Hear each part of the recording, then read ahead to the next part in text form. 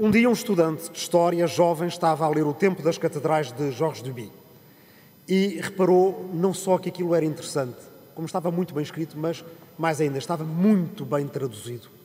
E não é sempre que se repara numa tradução.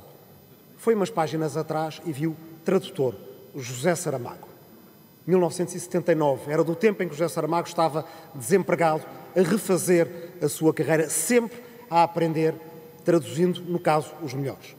Uns anos depois, esse José Saramago era já um escritor de fama internacional e encontrou numa livraria em Espanha o mesmo jovem que tinha acabado de ler O Ano da Morte de Ricardo Reis.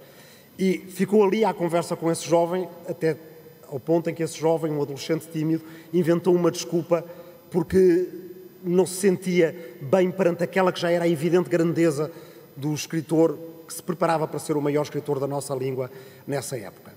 Se há uma razão, caros e caras colegas, porque Portugal é um país literariamente rico, é porque a missão da literatura é muito parecida com a mesma tensão essencial que o nosso país tem.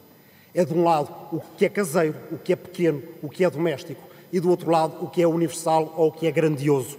E José Saramago conseguiu, seguindo o exemplo do seu mestre Ricardo Reis, põe tudo quanto és no mínimo que fazes, desde sendo serralheiro mecânico, a tradutor, a revisor de texto, a escritor já regressado à literatura depois dos seus 60 anos, ser grandioso falando da vida dos pequenos, dos camponeses do Alentejo, como falando dos seus avós ribatejanos, como falando acerca daquele revisor de texto que transforma um sim em não e transforma a história do universo, mantendo a mesma Lisboa no seu centro.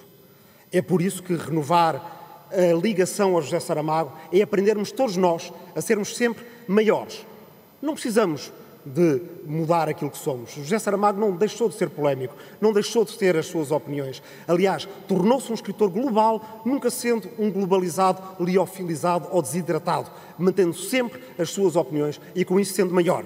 E uma coisa é certa: se hoje em dia há, por esse mundo fora, cátedras de língua portuguesa, do México ao Brasil, da Ásia à África, é porque houve um grande escritor português, dos maiores da nossa língua, chamado José Saramago, e isso, e isso é uma verdade universal que se manterá.